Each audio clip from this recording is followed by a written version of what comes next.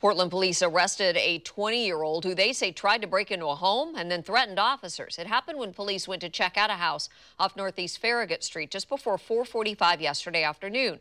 They found Chance Haylett trying to get in through windows and doors.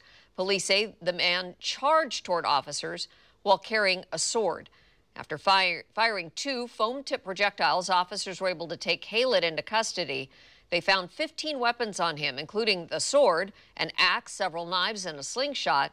He is in the Multnomah County Jail to face a number of charges, including burglary, criminal trespass, and unlawful use of a weapon.